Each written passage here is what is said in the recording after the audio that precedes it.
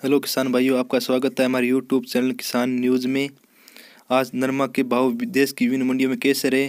देते हैं सिरसा में दस हज़ार बाईस रुपये प्रति कुंटल इलाहाबाद में दस हज़ार इक्यावन रुपये प्रति कुंटल गदवानी एमपी में ग्यारह हज़ार रुपये प्रति कुंटल गंगानगर में दस हज़ार दो सौ रुपये प्रति कुंटल हनुमानगढ़ में दस हज़ार दो सौ बारह रुपये प्रति कुंटल सूरतगढ़ में दस हज़ार एक सौ पैंतालीस रुपये प्रति कुंटल राउतसर में दस हज़ार दो सौ एक रुपये प्रति कुंटल संगरिया में दस हज़ार दो सौ इक्यावन रुपये प्रति कुंटल विजयनगर में दस हज़ार एक सौ बयासी रुपये प्रति कुंटल पदमपुर में दस हज़ार एक सौ पचहत्तर रुपये प्रति कुंटल केसरी सिंह में दस हज़ार चार सौ एक रुपये प्रति कुंटल गोलूवाला में दस हज़ार तीन सौ रुपये प्रति कुंटल अनूपगढ़ में दस हज़ार चार सौ एक रुपये प्रति कुंटल पीलीबिंगा में दस हज़ार दो सौ छहत्तर रुपये प्रति कुंटल तो किसान भाइयों, ये रहे देश की विभिन्न मंडियों में नरमा के भाव।